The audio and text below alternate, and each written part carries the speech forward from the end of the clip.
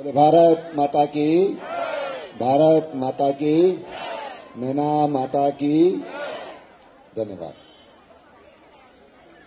आज घर की पहचान चेली का नाम आज के इस कार्यक्रम में मंच पर विराजमान नैनीताल उधम सिंह नगर लोकसभा के हमारे लोकप्रिय सांसद भारतीय जनता पार्टी के पूर्व अध्यक्ष और उत्तराखंड सरकार में पूर्व मंत्री आदरणीय अजय भट्ट जी, पार्टी के हमारे ज़िले के अध्यक्ष प्रदीप बिष्ट जी, विधायकगण इस क्षेत्र के श्री संजीव आर्य जी, विधायक रामनगर दीवान सिंह बिष्ट जी, विधायक भीमताल श्री राम सिंह कैड़ा जी, हमारे जिला पंचायत की सम्मानित अध्यक्ष, हमारी छोटी बहन, श्रीमती बेला तोलिया जी एडवोकेट जनरल श्री बाबुलकर जी, पूर्व विधायक श्री शैलेंद्र मोहन सिंगल जी, हमारे केदार जोशी जी, रेणु अधिकारी जी, मंडी के अध्यक्ष मनोज शाह जी, पार्टी के हमारे प्रवक्ता प्रकाश रावत जी और सभी सम्मानित मंच कमिश्नर कुमायूं श्री अरविंद हयाकी जी यहाँ के जिलाधिकारी Dheeraj Garbiyal ji DIG range IG Shri Ajay Rautela ji. हाँ सभी हमारे पत्रकार मित्र और इस पंडाल में उपस्थित मेरी सभी सम्मानित बहनें भाई और मेरे बुज़ुर्गों मैं आप सबका आज के इस कार्यक्रम में हृदय से अभिनंदन करता हूँ। और आज का जो बहुत ही ऐतिहासिक कार्यक्रम है, ऐतिहासिक कार्यक्रम इसलिए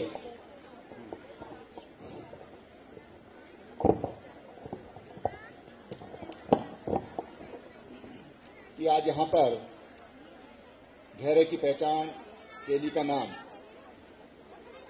ये आज हो सकता है कि हमको एक बहुत छोटी शुरुआत लग रही होगी।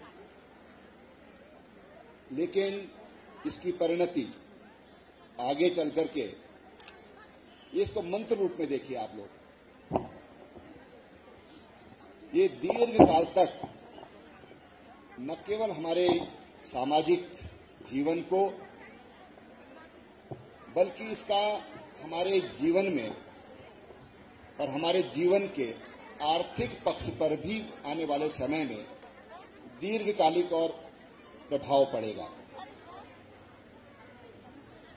राज्य सरकार की मंशा क्या है, वो इन कार्यक्रमों के माध्यम से आप सब लोग समझ रहे होंगे। और अगर एक लाइन में मैं बात कहूँ तो जो हम महिला सशक्तिकरण की बात करते हैं और महिला के पैरों को हम एक फीट की डोरी से बाँध दें। अब उससे कहें कि तुमको एक बार में तीन फीट चलना है तो कैसे चल सकती है? नहीं चल सकती है। और इसलिए जब हम महिलाओं की शक्ति की जागरण की बात करते हैं एम्पावरमेंट की बात करते हैं तो हमको उनको समान अवसर भी देने होंगे, समान अधिकार भी देने होंगे तभी समाज, और जो समाज में उसका इम्पैक्ट आना चाहिए, जो उसका प्रभाव आना चाहिए, वो प्रभाव आ सकेगा। और इसी नीति के तहत हम लोगों ने अभी कुछ दिन पहले, इस बार के विधानसभा में कानून बन जाएगा। कल हम उधर ही जाने वाले हैं। जो एक पति की पैतृक संपत्ति में महिलाओं को जो खाता धारक बनाया गया है इससे हमारे सामाजिक और आर्थिक जीवन इसमें समृद्धि आएगी, मजबूती आएगी और महिलाएँ भी बराबर की भागीदारी समाज के विकास में कर सकेंगी। अभी हमने कल ही एक निर्णय लिया, मुख्यमंत्री घसियारी कल्याण योजना।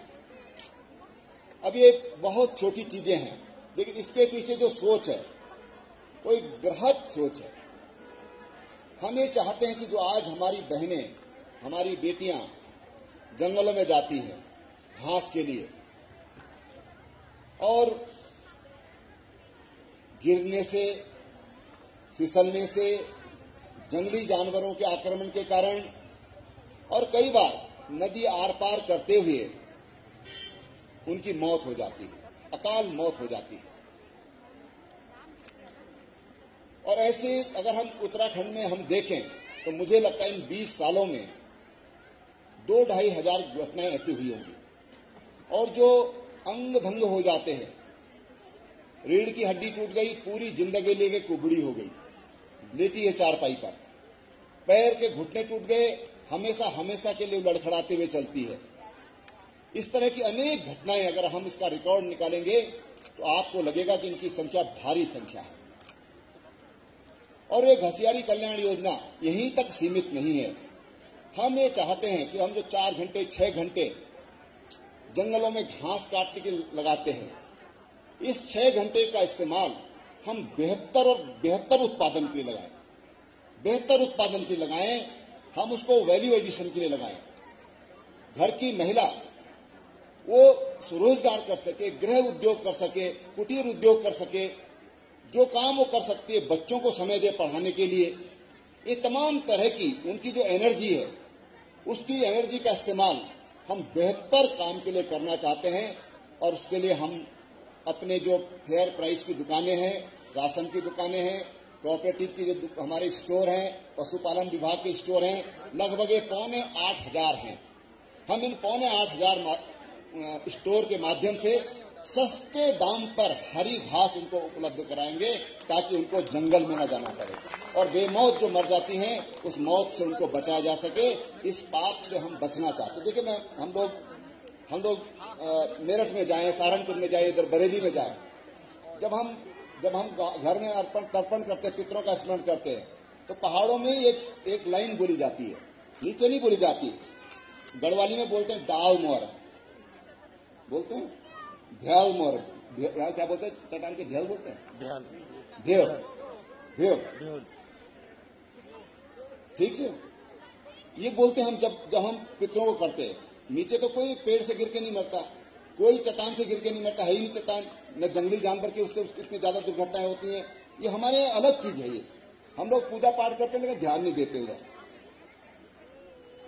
जो संकल्प लेते हैं हम उधर ध्यान नहीं देते हम संकल्प क्या ले रहे हैं? अब ये चीज़ें हम इसको मिटाना चाहते हैं। और मुझे विश्वास है, जिस ढंग से हमने इसकी प्लानिंग की है, हम आने वाले पाँच सात सालों में जिससे नरेंद्र भाई मोदी ने घर घर गैस पहुँचा करके आज लकड़ी का बोझ सिर से हटाने का काम किया है, आपकी उत्तराखंड की सरकार इस घास के बोझ से अपनी माँ बहनों को या कुछ जगहों पर पुरुष भी इस काम को करते हैं, उसको हटाने का काम करते हैं।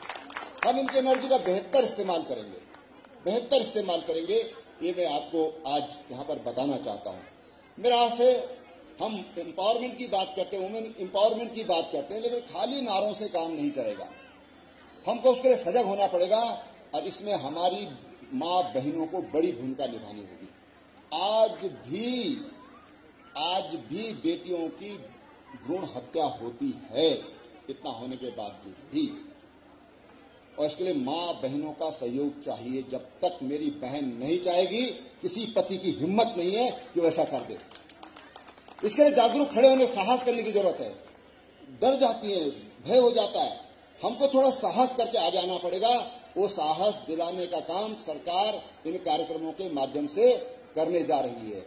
और ये जो घर की पहचान, चेली का नाम, ये भी उसी उसी का एक एक अंश है। उसी ये अंश भी इसीलिए है कि जब बूंद बूंद जुड़ता चला जाएगा तो सागर भर जाता है, कहते हैं तो उस दिशा में सरकार ये काम कर रही है। मैं आप सबसे विनती करूँगा कि आप इस सब में, आप सबका इसमें सहयोग चाहिए, आप इसमें सहभागी बने। सरकार जो योजना दे रही है, और विशेषकर जो हमारे राज्य में बत्तीस हज़ार महिला समूह हैं, बत्तीस हज़ार, और इन बत्तीस हज़ार में एक में कम से कम दस हैं, और चालीस तक के समूह हैं। कई जगहों पर थोड़ा ज़्यादा भी है। हमने जो रूरल ग्रोथ सेंटर जो हमने परिकल्पना की आज बहुत अच्छे परिणाम उसके आ रहे हैं। आज हमने उन ग्रोथ सेंटर्स को पाँच लाख रुपए तक की खरीदारी सरकार उन प्राथमिकता के आधार पर इन, इन महिलाओं के जो समूह हैं या जो पुरुष समूह तो बहुत कम है खैर इसलिए महिला समूह मुँह से निकलता है तो हम उनसे खरीदने का हमने कैबिनेट डिसीज़न हुआ है उनसे खरीदेंगे। पाँच लाख रुपए तक का ऋण हम ब्याज मुक्त इन समूह को दे रहे हैं। एक कुटुंब श्री योजना चलती केरल में कुटुंब श्री उसमें साढ़े छह लाख महिलाएँ जुड़ी हुई और वहाँ पर क्या करते वहाँ पर कम इंटरेस्ट पर उनको पैसा देते बिना ब्याज के नहीं देते और जब हम पाँच लाख रुपए तक का इंटरेस्ट फ्री लोन दे रहे हैं तो इसका मतलब सीधा सीधा है कि पचास हज़ार रुपया साल का आपका ब्याज का बच रहा है। पचास हज़ार रुपया साल का आपका ब्याज का बच रहा है। आप कल्पना कर लीजिए, कितना महीना हो गया साहब? कितना महीना हो गया? जब हम तीन लाख तक का हमने किसानों के लिए किया इंडिविजुअल फार्मर के लिए किया, तीन लाख का मतलब होता है कि तीस हज़ार रुपया सालाना, यानी कि ढाई हज़ार रुपया महीना उसका ब्याज का बचता है। ये बात मैं इसलिए समझानी पड़ रही इसलिए कह रहा हूँ कि एक बंदे ने कहा कि साहब, आप ये पैसा तो वापस लौटाना ही लौटाना है तो फ़ायदा क्या हुआ? ये बात कई लोग, कई बार बात करते हैं। तो मैंने कहा, वास्तव में हमारी समझाने में कमी रही है। हम इनको पूरी बात नहीं बताए कि हम इंटरेस्ट फ्री दे रहे हैं तो इसका परिणाम क्या होगा? इसका आपको लाभ क्या होगा? ढाई हज़ार रुपया महीने का लाभ होता है। और ढाई हज़ार का मतलब साल का तीन हज़ार, तीस हज़ार रुपया, उसको सीधा सीधा फ़ायदा होता है। और बैंक वाले बताएँगे कि अगर उसमें चक्रवृद्धि ब्याज लग जाता है तो तीस का शायद पैंतीस, चालीस तक भी हो जाता होगा साल का। और इसलिए हम तमाम समूहों में हम स्वरोजगार को विकसित कर रहे हैं। देखिए, नौकरी की मानसिकता से मैं मुख्यमंत्री हूँ प्रदेश का। हमको नौकरी की मानसिकता से हटना पड़ेगा। पौने दो करोड़, पौने तीन करोड़ सरकारी कर्मचारी हैं देश में 130 करोड़ की आबादी में। आखिर कितनों को सरकारी रोज़गार मिल जाएगा? और इसलिए हमने इन चार सालों में एक प्रयास किया कि हम स्वरोजगार जनरेट करें। उसी में मुख्यमंत्री स्वरोजगार योजना, मुख्यमंत्री स्वरोजगार योजना, तमाम घसियारी योजना, मुख्यमंत्री कृषक कल्याण योजना, ये तमाम योजनाएँ हमने अपने राज्य को दी हैं ताकि हम अपने पैरों पर खड़े हो सकें और हमको छोटी मोटी नौकरी के लिए इधर उधर न भटकना पड़े, उस तरह के प्रयास इस सरकार ने आप तीन चार वर्षों में किए हैं। मुझे विश्वास है कि तमाम बहनें आज इसका लाभ उठा रही हैं। तमाम हमारे युवा इसका लाभ उठा रहे हैं। एक जो सोलर स्वरोजगार योजना है, अभी तक हमारे पास केवल हमने दस हज़ार लोगों को देने को कहा। हमने युवाओं के लिए मोटर बाइक टैक्सी और उस मोटर बाइक जो आप खरीदेंगे उसके लिए दो साल तक का ब्याज सरकार देगी। दो साल तक आपको इंटरेस्ट नहीं देना, केवल आपको जो प्रीमियम है वो उसका देना है। हमने वो योजना राज्य में लागू करी। जो बस लेना चाहता है, बड़ी गाड़ी लेना चाहता है पहले 30 परसेंट की सब्सिडी थी, हमने उसको 50 परसेंट बढ़ाकर किया है कि 50 परसेंट सब्सिडी पर। और अगर आप अपने आप चलाना चाहते हैं तो ठीक है, नहीं तो हम अपने, जो उत्तराखंड परिवहन निगम है, उससे उसको संबद्ध कर देंगे, उसके माध्यम से वो बस चलेगी। 50 परसेंट सब्सिडी और 15 लाख की लिमिट हमने उसके लिए रखी है कि हम लोग अपना रोज़गार करें। जो ये सोलर स्वरोजगार योजना है, सोलर स्वरोजगार योजना में जिस तरह से आवेदन आने चाहिए थे, अभी कम आए हैं। पिरूल से बिजली बनाने की बात मैंने आपसे दो ढाई साल पहले की थी। आज हमारे पास सैंतीस प्रोजेक्ट हमारे पिरूल से, पिरूल यानी समझ रहे हैं ना, चीड़ की पत्तियाँ, चीड़ की पत्तियाँ। उसे आज से बिजली बनाने का काम शुरू हो गया है और अनेक अभी पाइपलाइन में। इसी तरह से 106 ग्रोथ सेंटर अपने राज्य में हमने स्वीकृत किए हैं और एक ग्रोथ सेंटर में कम से कम 10 और अधिकतम 40 महिलाएँ काम कर रही हैं। और हम आपसे आग्रह करना चाहते हैं कि जब हम महिला सशक्तिकरण की बात करते हैं, स्वरोजगार की बात करते हैं तो केवल बात नहीं करते उसको हम विकल्प देते हैं समाज को कि उस पर काम हो।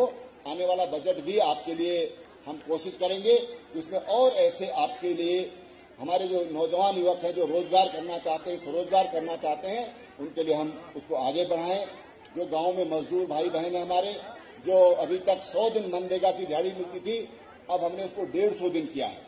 कि 50 दिन और उनके लिए और राज्य योजना से उसका पैसा हम उनको फंड करेंगे, ये हम आज हमने व्यवस्थाएँ की हैं। तो मैं आपसे अनुरोध करना चाहता हूँ कि सरकार विकास के प्रति प्रतिबद्धता हमारी है। हम विकास, मैंने कहा कि हमारे सामने एक ही लाइन है, विकास विकास विकास और केवल विकास। हमारा मकसद और भ्रष्टाचार मुक्त विकास हम इस राज्य को देना चाहते हैं। इन चार सालों में हमने प्रयास किया है। अभी चार साल सरकार के 18 साल 18 मार्च को पूरे हो रहे हैं। उस दिन हम आपसे फिर मिलेंगे। इसलिए मैं बहुत ज़्यादा नहीं बोलूँगा, लेकिन कुछ मेरे पास नैनीताल के लिए आज भी यहाँ पर लगभग एक सौ यहाँ पर बयालीस करोड़ की योजनाओं का यहाँ पर लोकार्पण और शिलान्यास किया गया है। और सूखा ताल बोल के मुझे एक याद आती है। एक रुद्रप्रयाग ज़िले में एक गाँव है मन सुना गाँव का नाम है मन सुना और गाँव इतना खूबसूरत है कि सामने चौखंबा दिखता है। इधर मध महेश्वर दिखते हैं, ऊपर बांझ का हरा भरा जंगल है। मैंने कहा, यार, किसने रखा होगा यहाँ का नाम मनसून यहाँ तो इतना मन लगता है। अगर सूखे मन का भी कोई चले जाए तो भी उसका भी मन हरा हो जाएगा। लेकिन इसका मन सूना क्यों रखा होगा? और ऐसे ही सूखा ताल है। बस ताल किस बात का जब सूखा है तो? और इसलिए अब इसमें से सूखा हटाना है। इसमें से सूखा हटाना है। ये ताल बनेगा और ये ताल फिर हमारी नैनीताल की आबो हवा को, हमारे यहाँ के नागरिकों को बहुत शुद्ध वातावरण देगा, अच्छी प्राणवायु देगा। इस कामना के साथ इसको किया जा रहा है, जो यहाँ पर, यहाँ की एक बहुत बड़ी समस्या है हमारी, ये लगभग एक सौ बयासी साल पुराना, बयासी तिरासी साल हो गए नैनीताल को, पौने दो साल के करीब का नैनीताल हो गया है। आज यहाँ पर सेचुरेशन पर तमाम जो हमारे विकास के जो काम हैं, वो सेचुरेशन पर हो गए हैं, स्थान का अभाव हो गया है। पार्किंग दिन प्रतिदिन वाहनों की संख्या बढ़ रही है। उत्तराखंड में जब राज्य बना था तो लगभग साढ़े चार लाख वाहन थे। आज 26 लाख क्रॉस कर गए कई बार लोग बोलते हैं प्रगति कहाँ करी? कुछ हो ही नहीं रहा है। तो चार लाख से आप 26 लाख वाहन क्रॉस कर गए आज। पहले, हल्द्वानी में कितने पेट्रोल पंप थे? आज कितने हैं? तमाम तरह की चीज़ें बोलते हैं कुछ लोग निराशावादी होते हैं। निराशावादियों से विकास नहीं हो सकता है। विकास आशा से हो सकता है। विकास विश्वास से हो सकता है और विश्वास जगाने का हम काम कर रहे हैं। और यहाँ पर जो आज आ, कुछ जो यहाँ पर घोषणाएँ में यहाँ पर पार्किंग की दृष्टि बड़ी भारी समस्या नैनीताल में होती है। हर बार जब बर्फ़ गिरती है गर्म मई जून का महीना होता है तो रोज खबर आती है हमारे जो पत्रकार मित्र हैं इनका कैमरा उन दिनों भीड़ पे लगा रहता है। कहाँ गाड़ियाँ खड़ी हो गई, कहाँ लोग पैदल आ रहे हैं, ये हमको सूचना देते रहते हैं। और इसलिए यहाँ पर भवाली में एक तीन सौ वाहनों की पार्किंग, कचहरी परिसर नैनीताल में एक बहुमंजिला पार्किंग जिसमें 400 वाहन खड़े हो सकते हैं फांसी गदेरा में 100 वाहनों की पार्किंग, और अभी तक ये कुल मिलाकर 500 और तीन, आठ वाहनों के लिए ये पार्किंग बनेगी। 450 वाहनों की पार्किंग अभी तक है। इसको 450 से बढ़ा करके और तीन गुना करने के, इसको किया जाएगा। और मैंने यहाँ के जिलाधिकारी और कमिश्नर को मांगू जो हमारे बहुत ही बहुत ही ज़मीन से जुड़े लोग हैं।